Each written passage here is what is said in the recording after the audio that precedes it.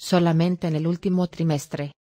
Netflix sumó 8,3 millones de nuevos clientes, superando los 117 millones de suscriptores, y las estimaciones de los analistas de Wall Street en más de 2 millones. Sus acciones bursátiles están en constante ascenso. Y subieron todavía más luego de que este lunes la compañía revelara sus resultados más recientes.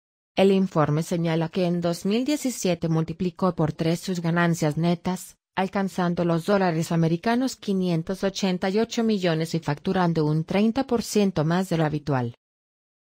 Poco pareció afectar la cancelación de la serie House of Cards, uno de sus grandes éxitos, después de que su protagonista, el dos veces ganador del premio Oscar Kevin Spacey, fuera acusado de acoso sexual.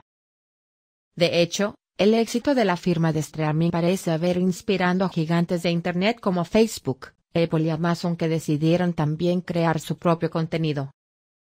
Hace dos décadas cuando Netflix daba sus primeros pasos en el mundo de la distribución de contenidos, apenas ofrecía 100.000 títulos, en DVD, y tenía 10 millones de suscriptores.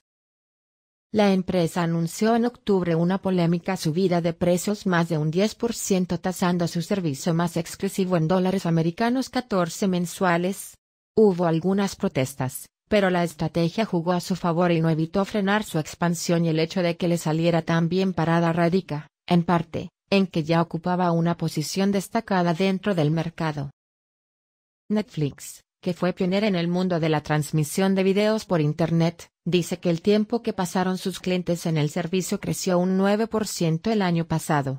Ese crecimiento es una señal de tendencias más generalizadas, como que los clientes optan por el entretenimiento online y lo prefieren a servicios más costosos de pago de televisión por suscripción, reflexiona Natalia Serman, corresponsal de la BBC sobre asuntos económicos.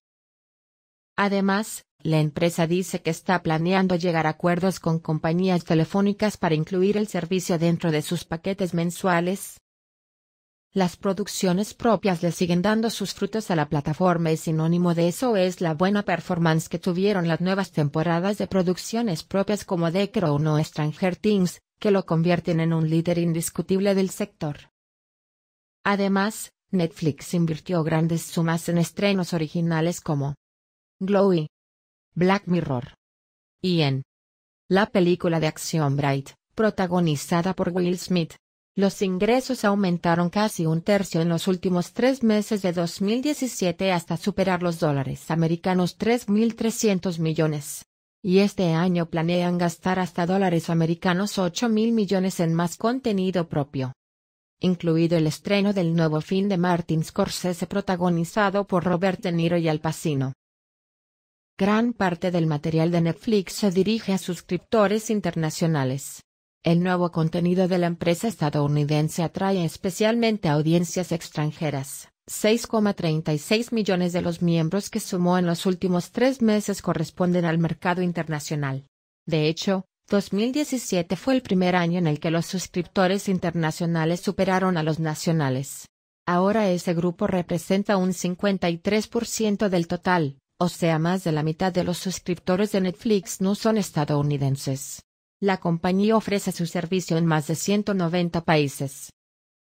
Actualmente, aseguran que tienen en su producción más de 30 programas internacionales para lanzar este año, entre los que se incluyen proyectos hechos en Francia, Polonia, India, Italia, Corea del Sur, Japón y también en la Argentina.